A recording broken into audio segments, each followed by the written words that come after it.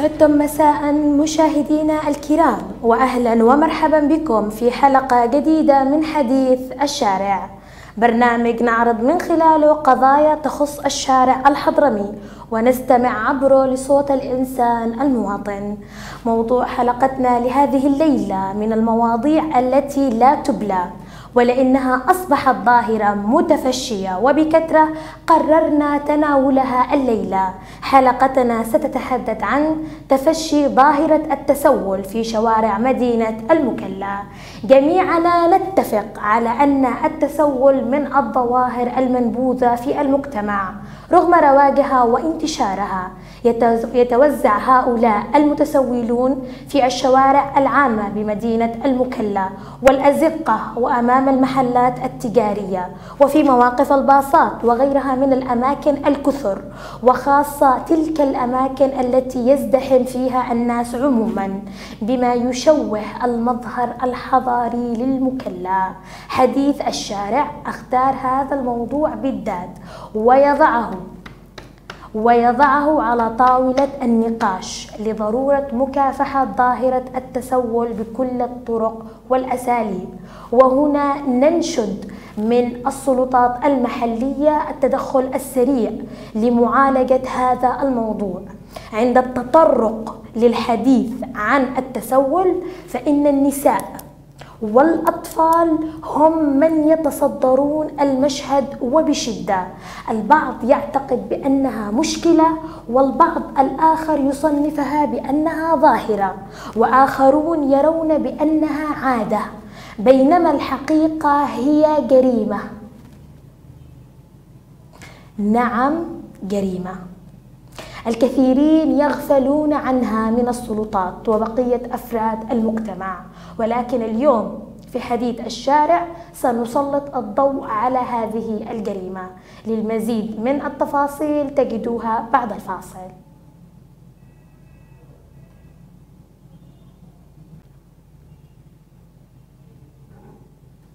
عدنا مجددا مشاهدينا. تسول أي عاطل أي انعدام مسؤولية أي استهتار ولا مبالاة أي عجز أي طمع وجشع وصولا إلى احترافها كمهنة ويتم استغلال الأطفال والنساء فيها أبشع استغلال. لا رفق لا رحمة لا شفقة لا قلب. نعم لا قلب.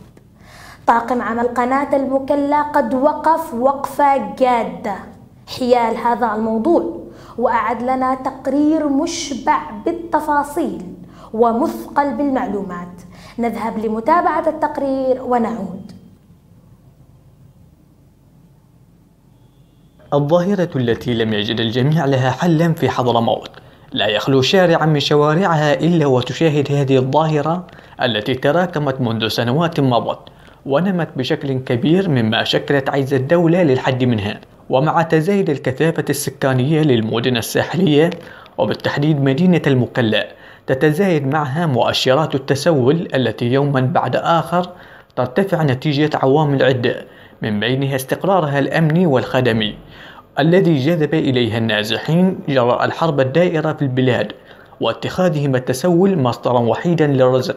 صمت السلطة المحلية في حضرموت في وضع حلول جذرية لمعالجة هذه الظاهرة التي طالما يكون صغار السن والأطفال ضحيتها تاركين مقاعد الدراسة نتيجة استغلالهم من عصابات لا تعرف الرحمة والرأفة وهو ما كشفته الأجهزة الأمنية مؤخرا في المكلا والشحر.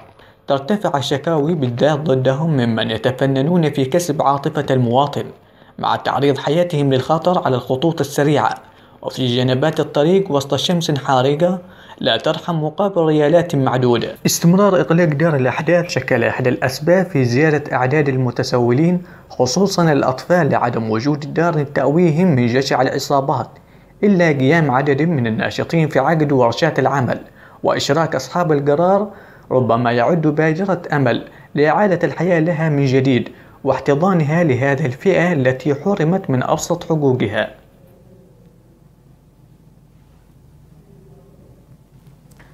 أصبح التسول أشبه بالتجارة. أو بصحيح العبارة مهنة تزاول يوميا على مدار 24 ساعة في اليوم. طيلة النهار والليل. لا كلل ولا ملل. تسول تسول تسول تسول. المتسولون هل هم عصابة تحت رداء الفقر؟ أم هم حركة تنظيم الرزق المشروع؟ حركة تنظيم الرزق المشروع. سؤال يضع نفسه. الحلقة ما زالت مستمرة. ابقوا معنا.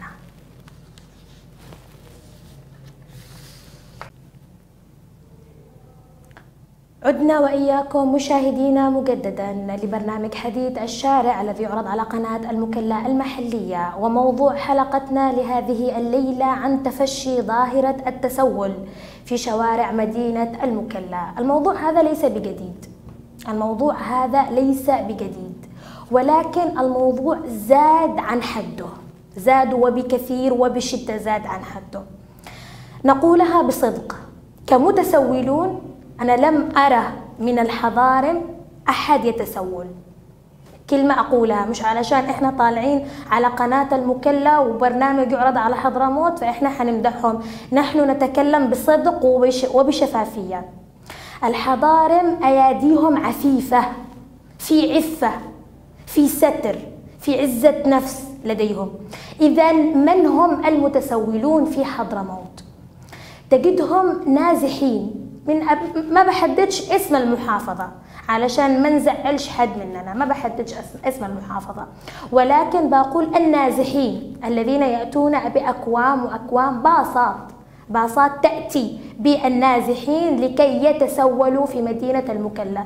قد يكون استقرار مدينة المكلا والوضع الجيد جدا الذي تعيشه المكلا عامل جذب لهؤلاء المتسولين خصوصا الانتعاش والنهضة التي بدأت تشهدها حضرموت والمشاريع فكأنها مصدر رزق جيد للتسول. إحنا تكلمنا إنهم بيمارسوها كمهنة. فالمتسولين الذي في حضرموت أنا من واقع كمواطنة عندما أتجول وأذهب أنا ما شفتش المتسولين كلهم نازحين. يأتون من محافظات يمنية أخرى من مناطق آه، أخرى لممارسة التسول في حضرموت. ويقول لك أنا نازح ساعدنا وأبي مريض وأمي تعبانة وبنعمل عملية قلب مفتوح وإلى آخره تتكاثر الأعذار ولكن الطريقة واحدة تسول. أنتم مش ملاحظين حاجة؟ إذا أنتم مش ملاحظين حاجة خليني ألفت عنايتكم لهذه الحاجة. مش ملاحظين أنه لا يوجد رجال يتسولون؟ مش ملاحظين هذه النقطة؟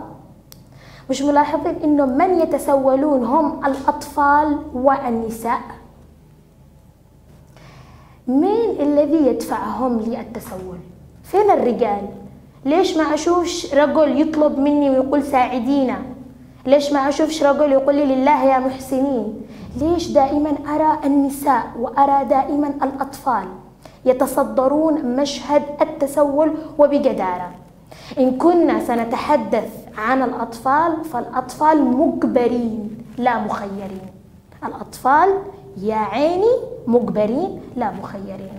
النساء بعقولهن ولكن من يدفعهم للتسول؟ هو هل هي حركة تنظيم للرزق المباح أو الرزق المشروع؟ هل هي حركة تنظيم من وراءهم؟ هذول النساء والأطفال الذي يطلبوا مين اللي يقول لهم روحوا اطلبوا هنا وكذا؟ يستلموا تعليماتهم من مين؟ يستلموا تعليماتهم من مين؟ الموضوع قد يبدو تسول وتعاطف لكن قد يكون مبطن بشيء من الخطر لحضرموت في القادم المقبل. عشان هكذا لازم الأجهزة الأمنية عندنا تصحصح. آه مشاهدينا معنا على الخط المهندس عوض أحمد بن هامل مدير عام مديرية المكلا. مهندس عوض مساء الخير. مساء النور أختي عبير كيف حالك؟ الله يسلمك الحمد لله. كيفكم؟ تمام الحمد لله بخير. مهندس عوض آه، بنتحدث اليوم في الحلقة عن تفشي ظاهرة التسول بشوارع المدي... بشوارع مدينة المكلا. بصفتك المدير العام لمديرية المكلا إيش هي الحلول أو الإجراءات أو التدابير اللازمة من قبلكم للحد من تفشي هذه الظاهرة؟ طيب آه، بسم الله الرحمن الرحيم آه، والصلاة والسلام على رسول الله. قبل ما ننطلق إلى الحلول آه، نعطي فكرة بس وقد تط- تطرقت إليها الأخت عبير حول حول أنه في الفترة الأخيرة فعلا زادت هذه الظاهرة. نعم. الفترة الأخيرة نتيجة كثير عوامل وأغلبها عوامل خارجية مثل ما ذكرنا أن ظروف الحرب أدت إلى كثير من النازحين وخاصة من بعض محافظات معينة. صحيح. بدأوا يوردون إلى إلى إلى إلى ما إلى إلى حضرموت بشكل عام ساحلها وواديها يعني. هي الظاهرة منتشرة منتشرة في عدن صحيح. على آه، منتشرة بشكل كبير في عدن وفي المكلا وفي سيئون في في كثير من لكن آه، بدأنا في الفترة الأخيرة آه، بالتنسيق مع مع الأجهزة الأمنية. طبعا عملنا عدة اجتماعات مع الأجهزة الأمنية للحد من هذه الظاهرة. نعم. أولا نعم. أولا آه، لدينا عدة اجتماعات وسوف نعقدها في المستقبل وعقدنا عدة اجتماعات وسوف نعقدها. أولا يوم آه، آه، نركز على المناطق المزدحمة نعم. مناطق الازدحام مثل الهايبر وغيره وغيره. هنا. آه، هم يتركزوا في بعض المناطق علينا الحد أو منعهم منعا باتا آه، من الظهور في هذه المناطق وسوف تكون هناك اجتماعات في المستقبل ثانيا نعم آه، نحن نقول إن شاء الله حصر لاعدادهم لأنه في اكتشفنا في السابق اكتشفنا في السابق إنه في هناك شبكة تدار شبكة شبكة. إيش؟ شبكة ماذا؟ آه، شبكة متسولين ت- تدار بشكل منظم يعني من من خارج المحافظة يعني. أوه،. بشكل, آه، نعم. بشكل منظم. نعم. يجون وينتشرون في بعض أماكن ويستخدموا الأولاد ويستخدموا النساء وهكذا. فتم آه، تم آه، يعني التحفظ على بعضهم يسكنون حتى الفنادق بعضهم يسكنون الفنادق يعني. وهذه ظاهرة طبعا ملفتة للنظر كيف أنت متسول وتسكن في فندق وظروفك يعني. صحيح.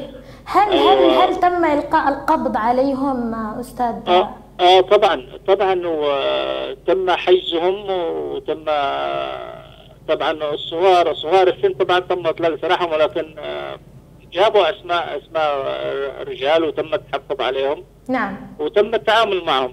آه، آه، ف ف ف أنا حابة أحيطك علما يا مهندس عوض إنه أيوة. الت- التسول جريمة جريمة. يعاقب يعاقب عليها قانون الجرائم والعقوبات اليمني بمدة حبس لا تزيد عن ستة شهور فليش مثلا ما تعقدوش مع الجهات الأمنية إنه يلقوا القبض عليهم ويتم الزق فيهم بالسجن لأنه هذه جريمة إحنا ما بنقول لهمش لو سمحتوا لا تتجمعوش هنا وممنوع وانذار وآخر إنذار. إحنا عندنا قانون يمني يقول التسول عقوبة. يتم الز- الزج فيهم بالسجن مدة حبس لا تزيد عن ستة أشهر. فلماذا لا نطبق القانون؟ أعتقد لو تم تطبيق القانون بنحد من هذه الظاهرة. وأصبح كل من بيجي بيتسول بيخاف أن يتم الزج فيه بالسجن مثل ما تم بأصدقائه المتسولين السابقين.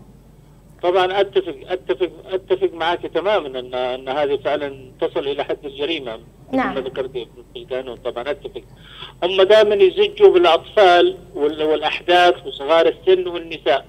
نعم. وهم يختفوا يمكن الكبار يختفوا أحيانا آه، ولكن الآن في الفترة الجاية إن شاء الله بتكون هناك اجتماعات مكثفة إن شاء الله بالتنسيق مع الأمن طبعا نعم. بالتنسيق مع الأمن إن شاء الله نعم للحد من هذه الظاهرة أنا أعدك إن شاء الله أنه بيكون هناك اجتماعات مكثفة إن شاء الله بالتنسيق مع الأمن للحد من هذه الظاهرة نعم لأنها فعلا أصبحت تسيء تسيء إلى المدينة صحيح. تسيء إلى ال- إلى المظهر العام. صحيح انت أنت عارف إنه محافظة حضرموت يضرب بها المثل الآن ووجودهم يشوه المظهر الحضاري والمدني لل للمكلا يا مهندس عوض ونحن الآن نشتي ننشط السياحة كمان.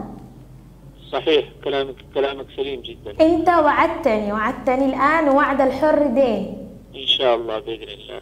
مهندس عوض أشكرك كنت معي على الهواء مباشرة. شكرا جزيلا أختي عبير شكرا شكرا مهندس عوض.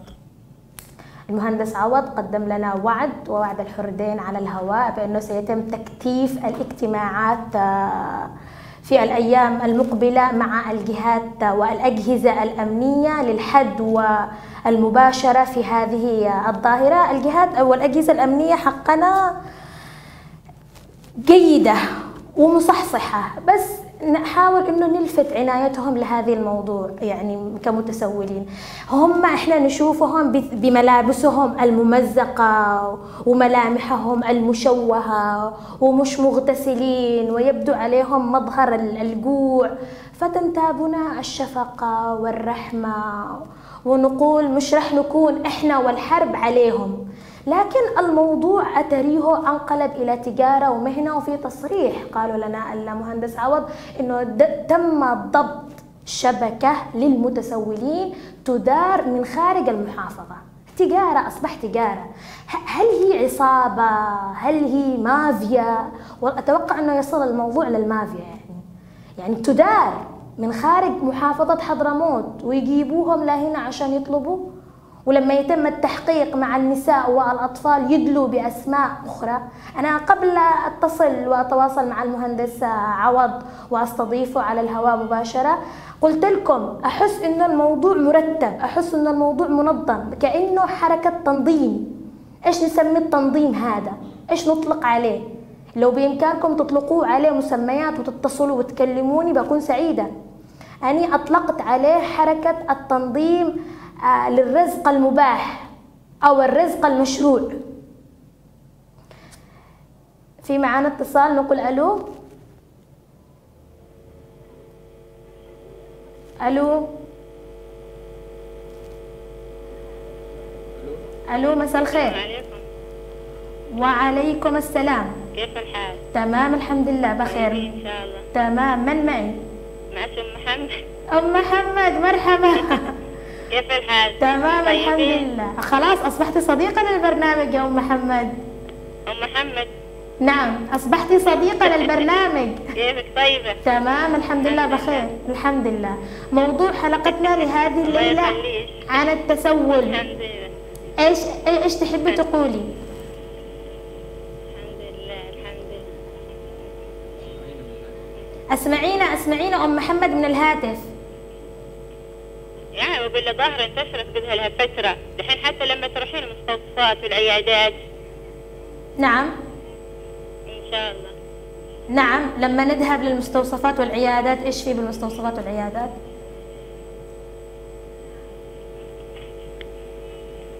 وبعدين حتى لما يسمونه يون ألو. أيوه معك معك الصوت ضعيف. بس أنا أسمعك تمام. آه أقول لك يعني انتشرت يم بعدين على قولش مش من يعني مش من حضرموت نفسها أكثرهم من المحافظات الشمالية. صحيح صحيح. صحيح. يعني ظاهرة من زمان ليش ما ما انتبهوا لها؟ يعني ما في لها مراقبة ما لها يعني حد مسؤول عنها. صحيح.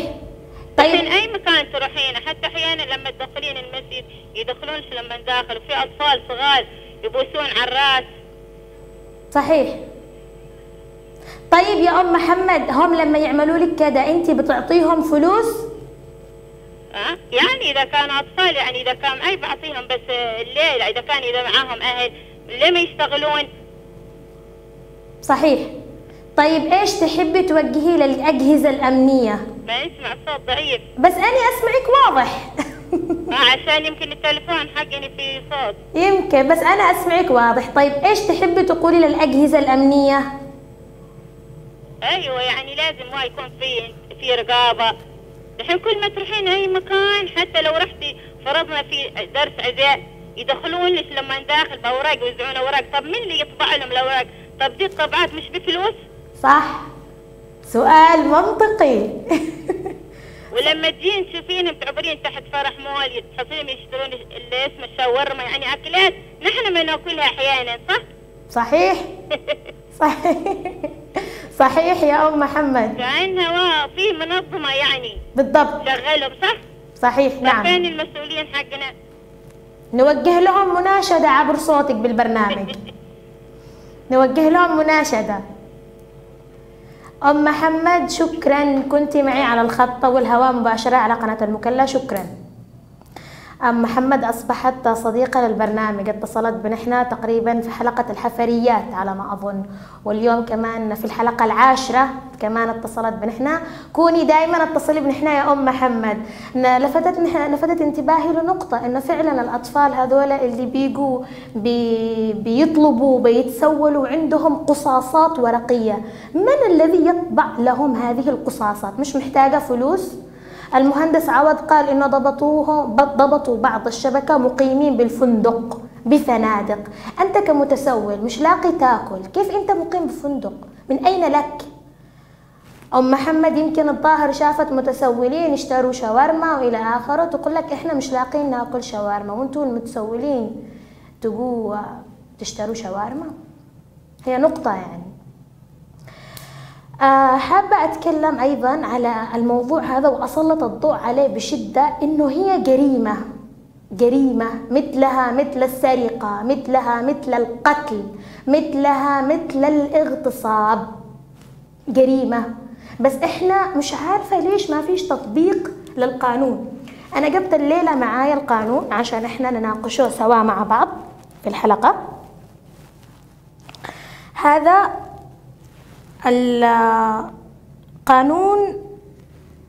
قانون رقم 12 لسنة 1994 قانون الجرائم والعقوبات. قانون الجرائم والعقوبات. قانون يمني طبعا. الباب السابع. ها أنا فتحت وبقرأ لكم من القانون. الباب السابع مادة 203 التسول. يعاقب بالحبس مدة لا تزيد على ستة أشهر. من اعتاد ممارسة التسول في أي مكان. يعاقب بالحبس مدة لا تزيد على ستة أشهر. الباب السابع التسول مادة 203 قانون الجرائم والعقوبات اليمني لعام 94 أيضا قانون رعاية الأحداث ولائحته التنفيذية. الأحداث ويدخل فيهم صغار السن ويدخل فيهم الأطفال. يقول لك مادة رقم ثلاثة. أنا بقرأ لكم من القانون. مادة رقم ثلاثة. يعتبر الحدث معرضا للانحراف إذا وجد في أي من الحالات التالية. هم منهم سبع حالات. أول حالة إذا وجد متسولا. يعاقب عليه قانون رعاية الأحداث لأنه يعتبر الحدث معرض للانحراف إذا مارس مهنة التسول. قانون رعاية الأحداث. فالقوانين عندنا في اتصال. ألو؟ ألو؟ من معي؟ المحامي مراد المزرعي عفوا يا مراد آه، معنا ضيفنا على الهواء المحامي مراد بن مزروع محامي في المحاكم العامة ومحكمة الأحداث أتوقعتك مواطن يا مراد كيف حالك؟ الحمد لله كل شيء تمام إيش أخبارك؟ الحمد لله ماشي الحال. حلقتنا الليلة عن تفشي ظاهرة التسول فكنت حابة أسألك بصفتك محامي هل يتم تقديم المتسولين للمحاكمة يا مراد وإلقاء القبض عليهم بتهمة التسول على اعتبار أن التسول جريمة يعاقب عليها قانون الجرائم والعقوبات وقانون رعاية الأحداث؟ ال- بالنسبة للسؤال هذا نعم. كان الأفضل أن يقدم ال- النيابه العامة لأن هي الجهه المختصة اللي تقدم المتهمين إلى المحكمة. صحيح. لكن صفتي كمواطن انت لا. صفتك كمحامي يا مراد. وكمحامي نعم. أنت ضيف طبعاً- عندنا طبعاً في الحلقة طبعا اليوم. طبعا شا- شاهدت بعض الحالات تم حالتهم للمحكمة. نعم. لكن لكن مش الحالات ال- الكثير حد ما نشاهدها في الشارع ال- العام. نعم. ليش طيب باعتقادك باعتقادك كقانوني ليش ما يتم تطبيق القانون؟ ليش؟ هذا السؤال يوجه للأمن. لأن نعم هي الجهه المختصه في موضوع تطبيق ال- ال- الأمن. نعم. خاصة إن الأمن الان في الوضع الحالي. أنا ما ألوم الأمن في الوضع الحالي. صحيح. ما تشاهدون البقرات الأمنية والقاعدة صحيح. تعانيها المح- المحافظة. صحيح. لا لكن الأولى بالنسبة أنا أتكلم الآن كالأطفال اللي شاهدتهم في ال- القناه نعم. كنت في البداية تابعت نحن في البداية يا مراد؟ ها؟ تابعت نحن من بداية الحلقة؟ إيه تابعت التقرير. جميل جميل. إيه، كنت أتمنى الأطفال اللي تم عرضهم في التقرير عدم عرض صور وجوههم لأن النوع يعتبر نوع من التشهير عليهم. هذه النقطة. صحيح. النقطة الثانية أنا اشتغلت كمحامي أحداث حضرموت نعم. وطبعا القانون تكلم حول موضوع ال- الأحداث حول التسول. واعتبر جريمة التسول هو جريمة تعرض للانحراف صحيح. حسب نص حسب نص قانون رعاية الأحداث. صحيح. أنا قرأته قبل ما تتصل. أنا قرأته يا مراد. نعم. المادة الثالثة من قانون رعاية الأحداث. صحيح. إذا اعتبر إذا وجد إذا وجد الحدث متسولا. صحيح. ويكون معرض للانحراف. أو القيام بأعمال خدمات تافهة وحسب ما شاهدته في القناة. صحيح. وبعض الأطفال يقومون بتمسيح دقائق السيارات. صحيح. فهذه بحد ذات- ذاتها تعتبر نوع من التسول. صحيح. لكن أنا ما ألوم الأطفال. بقدر ما ألوم أولاة أمور الأطفال. اللي تركوا الأطفال يقومون عملية التسول. صحيح. هذه النقطة المهمة. صحيح.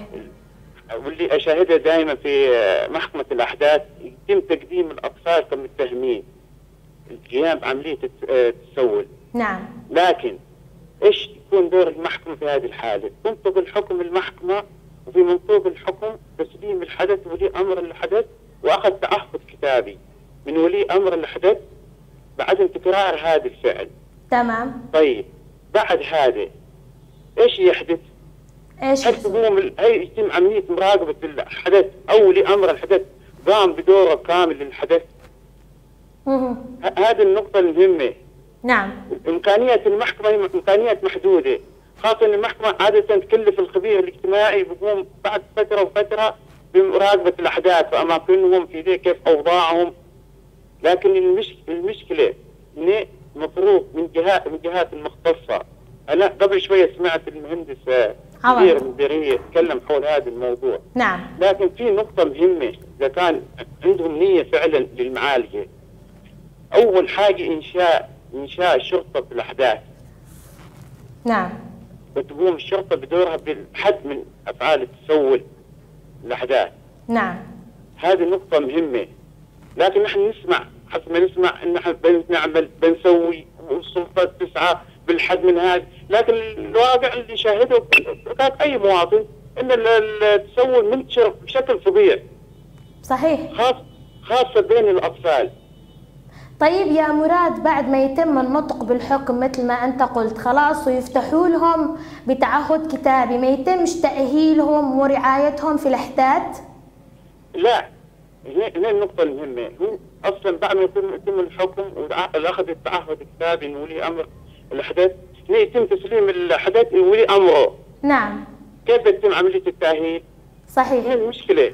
طيب. لأن الإمكانيات محدودة إمكانيات المحكمة محدودة. صحيح. المحكمة منها خ- خمسة أشخاص القاضي واثنين خبراء اجتماعيين ووكيل النيابة والمحامي. نعم. لكن المشكلة عدم وجود شرطة الأحداث هي اللي بتسهل عملية التأهيل وعملية المراقبة و... لكن هي المشكلة أن شرطة الأحداث غير موجودة. يعني شرطة الأحداث أنت هل تقصد بشرطة الأحداث دار التوجيه الاجتماعي؟ لا لا شرطة أحداث زي ما الأمن الشرطة والبحث الجنائي يكون هناك شرطة مختصة بجانب الأحداث فقط طيب الشرطة هذه كيف ممكن تساعد نحن لو بتوضح لي الفكرة؟ الشرطة بتكون هي مهمتها هي الأطفال نعم ما فيها تسول بتقوم بعملية بعملية دورها بشكل عام نعم. التحري إلقاء القبض عن المتسولين الأطفال مهم. ال- حالتهم للنيابة. نعم. بيكون دورها بيسهل عملية ال- الحد. مم. يعني بحيث إنه ما يتمش تكرار هذا ال بالضبط. نعم. بالضبط. وفي حال حتى النطق في الحكم. نعم. ممكن المحكمة تتواصل مع الشرطة تقوم بعملية مراقبة الأحداث يتم الإفراج عنهم. بحيث إن الشرطة هي من تراقب الأحداث بعد الإفراج. بالضبط. نعم. لأن المشكلة النيابة النيابة فيه صعوبة في التنفيذ. نعم. ما في جهة النيابة تخاطب الأمن. والأمن صحيح. مشغول بأوضاع أمنية. أهم من الموضوع اللي تسول يعني كمان المفروض هنا إنه نحن نوجه رسالة للنيابة العامة. الرسالة توجه قبل النيابة العامة توجه لمدير الأمن حضرموت مدير الأمن. بالضبط. نعم نعم. إنشاء إنشاء شرطة أح- أحداث مختصة بالأحداث. نعم. طيب يا مراد تعتقد إنه الآن آه، دور التوجيه الاجتماعي بفلوك المخصص للأحداث كلنا عارفين إنه هو حاليا مغلق. هل تعتقد إنه إغلاقه أثر من هذه العملية؟ يعني من التفشي الظاهرة لأنه ما فيش عاد في دار يهتم بالأحداث وي- ويرعاهم ويتابعهم لأنه الآن الدار مغلقة. هل تعتقد إنه كان في له دور الآن في تفشي الزايد لظاهرة التسول؟ أنا من رأيي الشخصي ما أعتقد لها دور. ما ما تعتقدش لها دور. لا ما لها دور. لأن المشكلة المشكلة لما يتم حالة الحدث بعد النطق بالحكم لدار رعاية. نعم. قبل قبل الحدث فترة العقوبة اللي حددتها المحكمة سواء شهر شهرين. بعدها يتم دار رعاية تسليم الحدث لو لي أمر الحدث. ونرجع لنفس المشكلة مرة ثانية.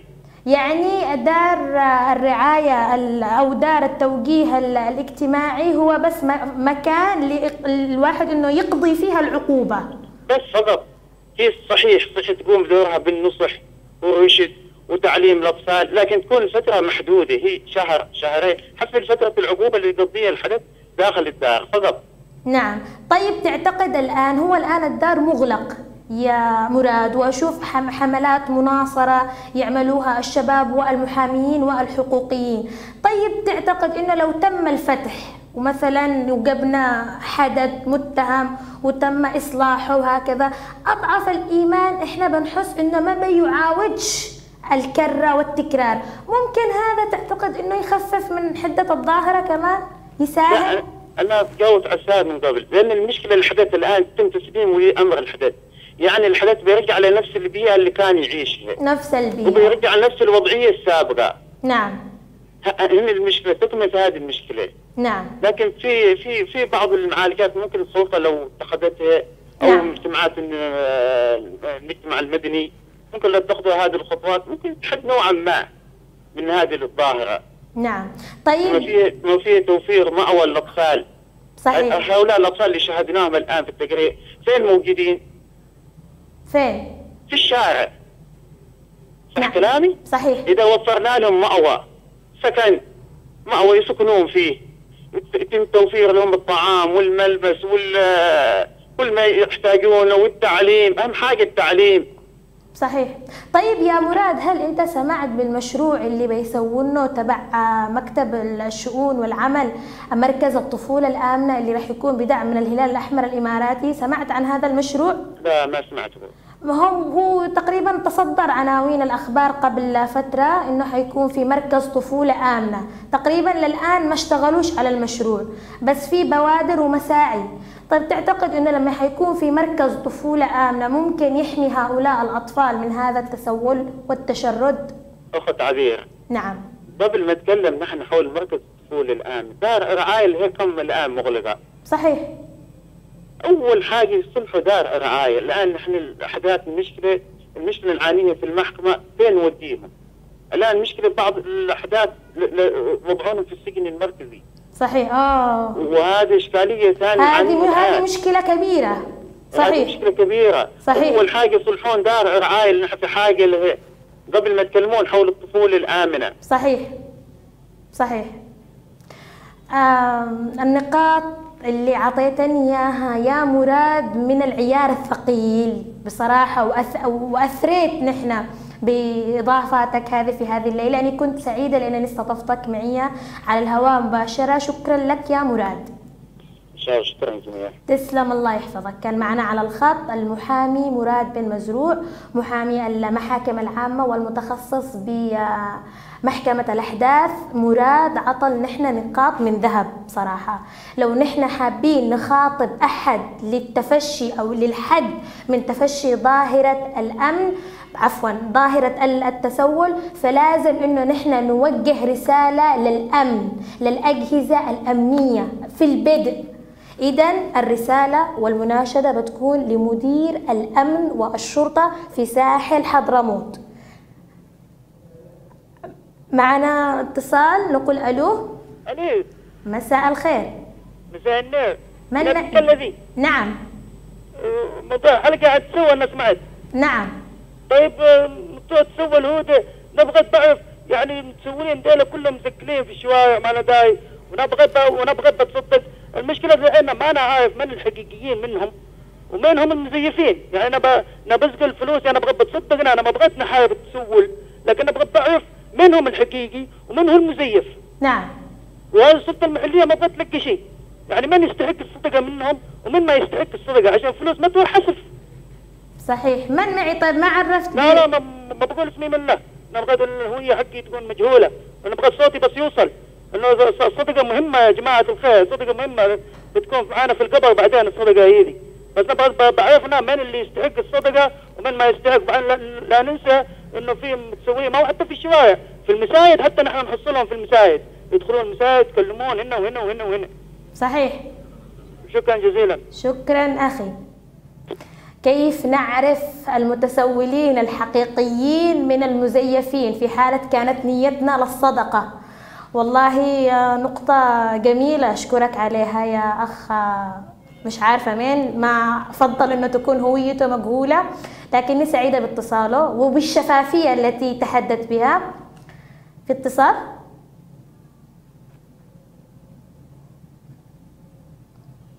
ألو؟ ألو مساء الخير. مساء النور. من معي؟ معك مهندس عبد الله النوبي. أهلا كيف حالك؟ الحمد لله كيفكم طيبين؟ تمام الحمد لله بخير. تفضل يا مهندس إيش هي مشاركتك معنا؟ سألت سمعت الآن كلام الم- المحامي مراد. نعم. سمعت كلامكم. صحيح. ولكن اللي بقوله إيش في المقداية الحكمة اللي تقول من أمن العقوبة سهل أدب إيش إيش إيش, هي الحكمة؟ أعد؟ من أمن العقوبة سهل أدب تمام. وهذا الحين تكلم كأنه هذين المتسولين كلهم من أبناء المكلا أنفسهم.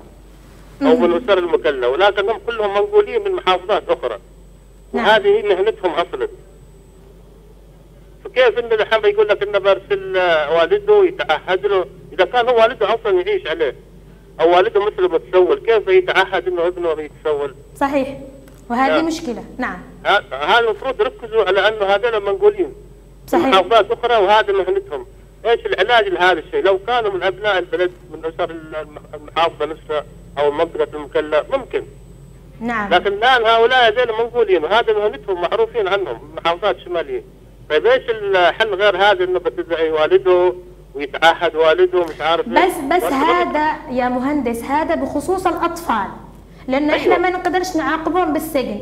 بس هنا المشكلة م- مش مش في مثال يقول لك إذا كان رب البيت آه، للدف ضاربا فشيمة أهل البيت الرقصي. هذا نفس. الشيء. هذا طيب. نفس الشيء نعم. لكن الحلول قصدي هذه الحلول حق إنه بيتعهد والده مش عارف إيش لا. تبغى حلول أخرى لأنه بيت بيتكاثرون علينا وبينزلون منهم كثير وكثير وكثير. بالضبط. شوف ه- هذا القانون مصمم يعني مخفف على الأطفال. افتهم لك. بس المشكلة المشكلة يا مهندس لما تكون يعني العائلة ممتهنة هذه المهنة. في بعض العوائل مش ممتهنة هذه المهنة وأحيانا التعهد الكتابي يجدي نفعا. شفت كيف أحيانا مثلا في الانحرافات لبعض الأطفال. لكن لما يكون الأب متسول إيش نتوقع من الابن؟ أنا أنا قد قلت من قبل الأطفال مجبرين لا مخيرين. لكنها إضافة جميلة منك. أيوه. نعم. وهذا برضه حتى هم متسولين الكبار أنفسهم هذول العقال الكبار ويسر على حالهم. صحيح. امرأة ومعها اثنين أطفال ثلاثة أطفال. صحيح. ناهيك عن انه برضه متسولين في المساجد. يأتون بالكذب والغش والخداع واللف والدوران على الناس هذه مثبت كذب وهذه يسوي صحيح. آه، من هذه المغذيات وهذا من هذا الخبر طيب السلطة إذا ما تتدخل في هذا الأمر وتحد منه إذا تفشى وتوسع أو يعني طيب انت أنت. على الهواء أنت على الهواء وجه رسالة للجهات المعنية الآن ماذا ماذا تقول لهم للحد من. هذه الظاهرة والله نتأكد يعني نوجهها للسلطة بدا- بشكل عام ولأصحاب الأمن بشكل خاص. نعم. إنهم يحاولوا مثل هذا يحدون منها منه إلقاء القبض عليهم نعم. مع محاكمتهم نعم. عمل عملية آه، إرشاد إليهم يرشدونهم نعم. بالنصيحه بالتوجيه إذا كان ماشي ممكن توصل إلى العقوبة. صحيح. آه، وإذا كان حتى يحدوا برضه من النزوح هذا إذا كان نزوحهم نتيجه لأجل التسول أفضل إنهم لا يتركوه. أما واحد يجي نازح إنه نتيجه الحروب هذا أهلا وسهلا به لكن بيجي نازح من أجل التسول لا صحيح. هذا اللي عندي. شكرا على المداخلة شكرا على المداخلة. العفو. تسلم. آه في آه استضافتنا للمحامي مراد بن مزروع آه أتطرق لنقاط. أنا أحب إنني أعيد ذكرها هو طلب إنه تكون إنشاء شرطة للأحداث. هذه الشرطة مهمتها بعدين التحري التدقيق آه بعد خروج ال- ال- الحدث تعمل له متابعة وتقييم عشان نضمن يكون في نوع من الضمان إنه الحدث هذا أو الطفل هذا ما عاد يكرر التسول أو أي جريمة أخرى. كمان قال إحنا في الموضوع هذا لازم نوجه رسالة إلى الأمن. هو يناشد الأمن وأنا بدوري أوجه رسالة إلى مدير الأمن والشرطة في ساحل حضرموت العميد منير التميمي. نقول له إنه يلتفت إلى هذول ال- المتسولين ويحاول إنه يلقي القبض عليهم دام إنهم دام إنه التسول جريمة يعاقب عليها القانون. وقلنا مدة الحبس لا تزيد عن ستة أشهر. نشتي تفاعل في هذا الموضوع. نحن عارفين الأمن بيكون إيش ولا إيش ولا إيش. في قضايا أهم من التسول. لكن مش عارفين نحن التسول هذا اللي نحن ننظر له بنظرة شفقة ورحمة. تمام؟ تعاطفا مع الأطفال. ممكن في المستقبل القريب يؤدي إلى فين؟ المهندس عوض قال تم ضبط شبكة شبكة. من المتسولين ويستلموا تعليماتهم من خارج محافظة حضرموت والموضوع منظم. يا جماعة حركة تنظيم يعني الموضوع نخاف منه. اليوم بيتسولوا بكرة بعده ممكن يقتلوا. يا أخي أعطينا فلوس ولا بقتلك؟ القتل أصبح كمان وارد. من هنا الخوف. لازم نحن نتلافى. وهذا الموضوع من الآن قبل ما يحصل ما لا يحمد عقباه.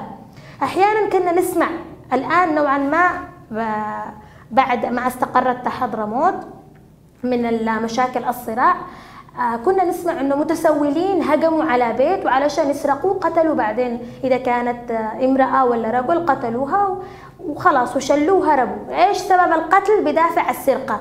لما يقولوا يلقوا القبض عليهم يلاقوهم من الفئات المهمشة ولا نازحين ك اخذوا روح بهدف السرقة. نحن مش حابين الموضوع يتطور إلى هذه. مش حابة اليوم أنا أطلع حلقة أتكلم عن التسول الحلقة بعدها أطلع أتكلم عن القتل.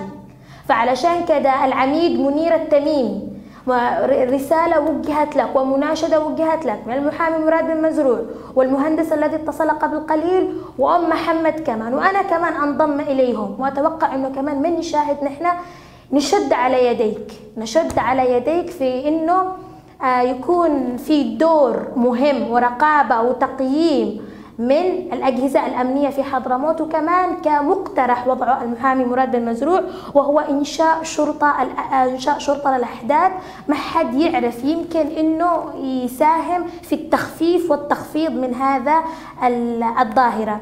كمان بالنسبة لدار في اتصال بالنسبة لدار التوجيه الاجتماعي واللي هو معروف بدار الأحداث وموقعه طبعا بفلوب هو زي ما وضح معي الم- المحامي مراد هو مكان اللي ينقضي فيها العقوبة. يعني مكان فيه رعاية فيه تأهيل بس مكان أنت تجي تقضي فيه مدة عقوبتك وخلاص وتخرج. المشكلة إنك أنت لما ترجع لنفس البيئة لنفس البيئة. وعاد إذا كان الأب والأم من ممت... من ممتن من الذين يمتهنون مهنة التسول خلاص ضاع الطفل راح الطفل.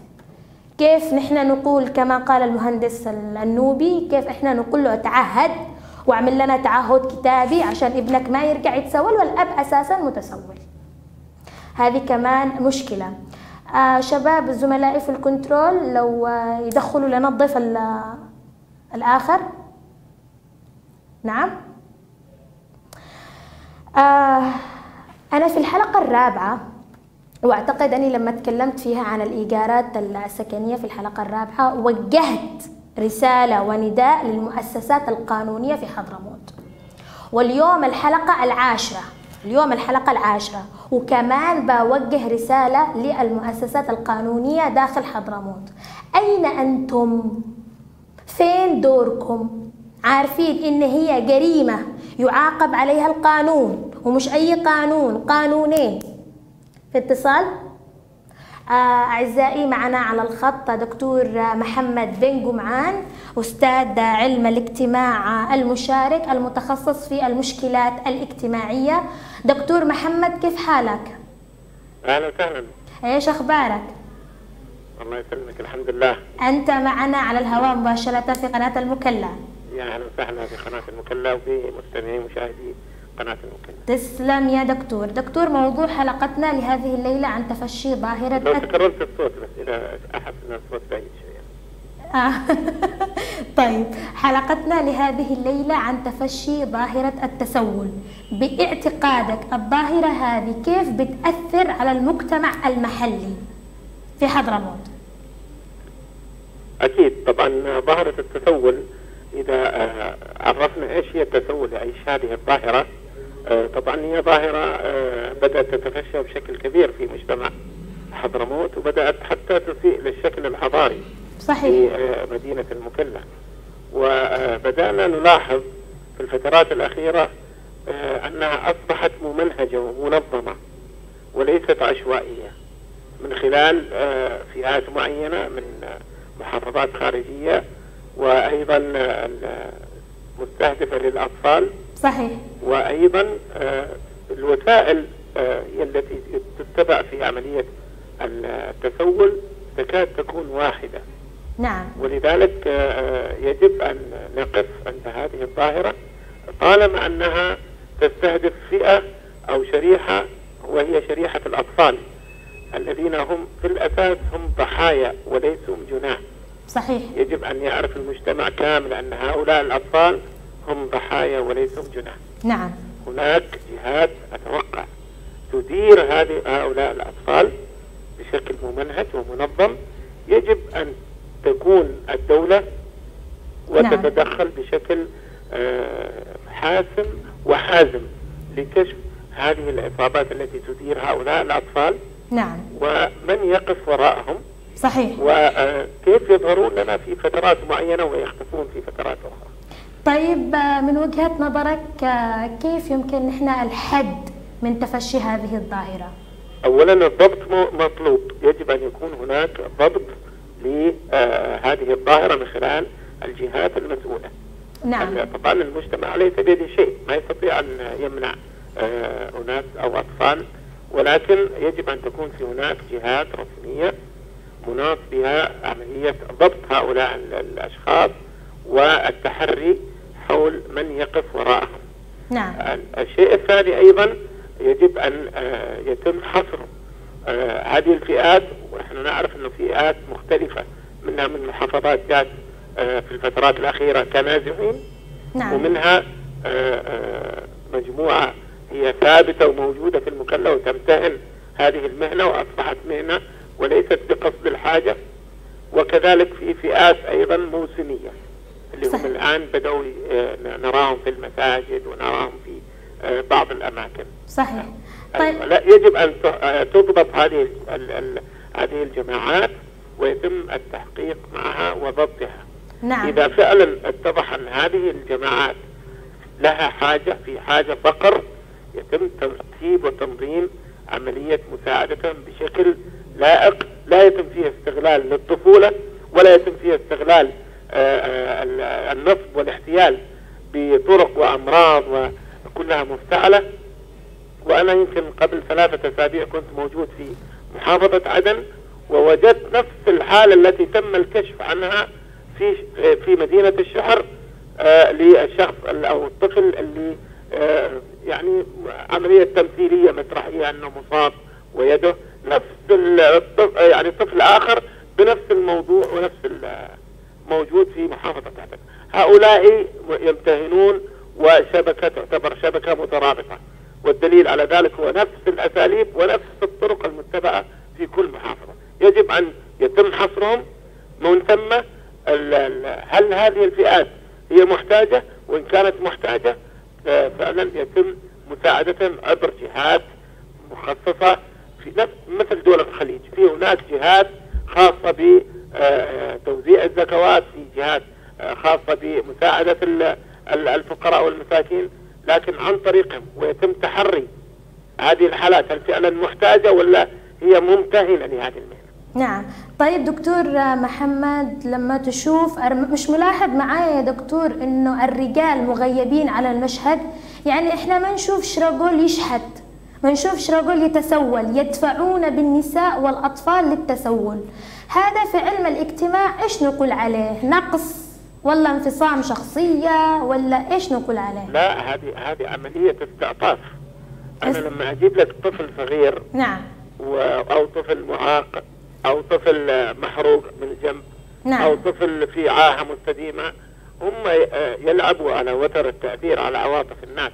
نعم. ويعرفون أن الناس تتعاطف.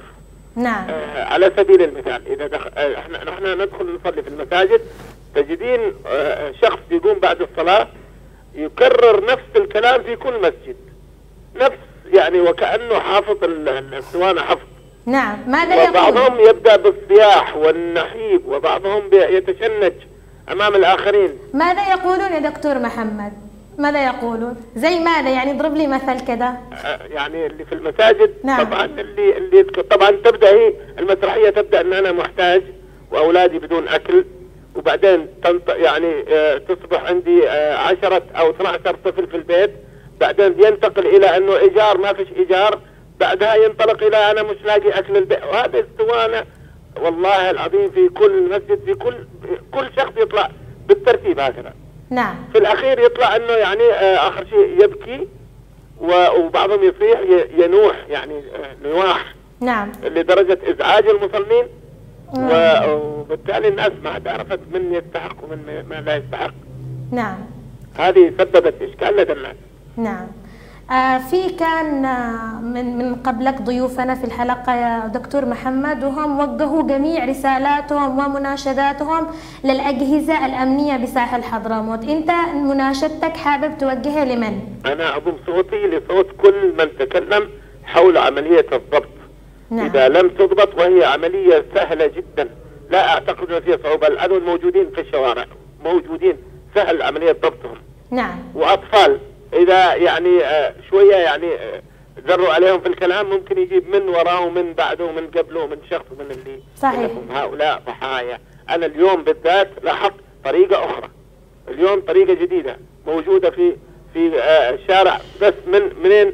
من فوة اللي هي بداية المتضررين إلى ابنتي أنا كنت رايح بروم طبعا. نعم. وجدت ال- الآن بدأت ثلاجات وماء.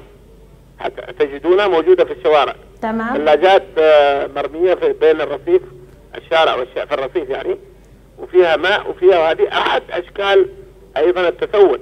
رغم نعم. أنها فيها بيع وشراء لكنها أحد أشكال التسول أيضا. نعم بيع المناديل وبيع هذه كلها لأنهم الأطفال لا يجب هذول أحداث لا يجب أن يدخلوا سوق العمل هذول يجب أن يكونوا في المدارس. صحيح. صحيح يا دكتور وهي محمد. مسؤوليتنا جميعا وأكرر أن هؤلاء الأطفال هم ضحايا. صحيح. يجب أن نقف عند الجاني الحقيقي. صحيح. آه، دكتور محمد بن جمعان كنت معي على الهواء مباشرة. شكرا لك. شكرا جزيلا.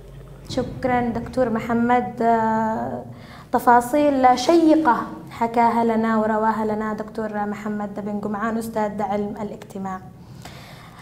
قبل لا يتصل دكتور محمد كنت أتكلم حول المؤسسات القانونية داخل ساحل حضرموت. وجهت لكم مناشدة في الحلقة الرابعة وأعيد وأكرر وأوجه لكم مناشدة في الحلقة العاشرة. فين دوركم في التوعية والإرشاد القانوني وما إلى آخر؟ وأنا أتوقع اليوم كثير ناس متفاجئين أنه التسول تعد جريمة. جريمة يعاقب عليها القانون. ما أنتم لما تتكلموا لما توعوا تعملوا البروشورات رسائل إلكترونية عبر مواقع التواصل الاجتماعي. تمام؟ نوحد رؤيتنا وأهدافنا وكلنا نقف يد بيد. وصوت واحد رسالتنا أكيد بتوصل للسلطات والجهات المعنية ولأجهزة الأمن. اليوم ضيوفي في الحلقة كلهم قالوا هذه مشكلة دولة الدولة لازم تتدخل لازم تعمل حاجة. الأجهزة الأمنية لازم تتحرك حول هذول المتسولين. ما أساليب وأساليب وتتمادى وتتمادى وتتمادى. وبعدين المشكلة إنه أول كان زمان لله يا محسنين أول كان زمان لله يا محسنين. دحين نجد قصاصات ورقية نجد أطفال مشوهين الملامح مقبسين عاملين حاجة. ولما في قبل فترة ألقوا القبض على شبكة معينة يمسحوا وجه الطفل ألوان.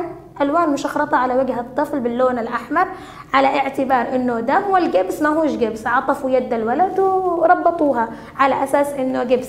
آه أو إنه على أساس إنه يده مكسورة. كمان آه عشان بس أعيد لكم النقطة آه بالنسبة للأحداث إذا وجد متسولا ويعد من أعمال التسول القيام بخدمات تافهة.